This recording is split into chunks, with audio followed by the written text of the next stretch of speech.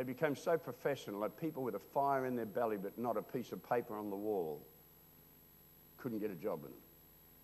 Just watch it. Watch it, people of God. And of course, with the professionalism came public performance. Now, Grubby's not a public speaker. We didn't sit down and talk about it before he came up here. I was trained by evangelists where you only have people that are slick and got it together. You have a song leader that knows what he's doing. You only get someone to give a testimony if they've been trained in knowing how to do it and they'll stick to the time, stick to the point, and get through it.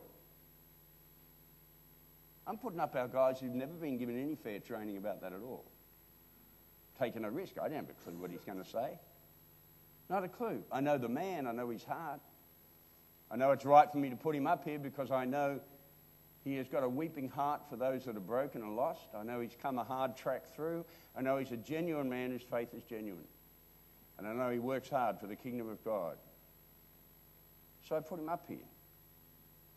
But it makes our service late, or it means I've got to finish now. I have to give you my introduction.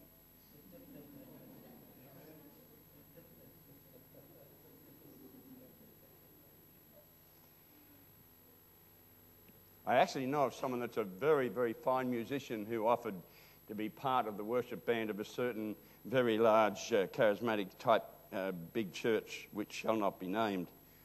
And they were turned down because they were overweight and didn't look slick enough, despite musical gifts, so they couldn't be in the worship band. I'm sick of watching worship bands all around the world following that model from, from Sydney. I'm sick of it. We're only sexy. You know, when the Pentecostal movement began, you know what it began with?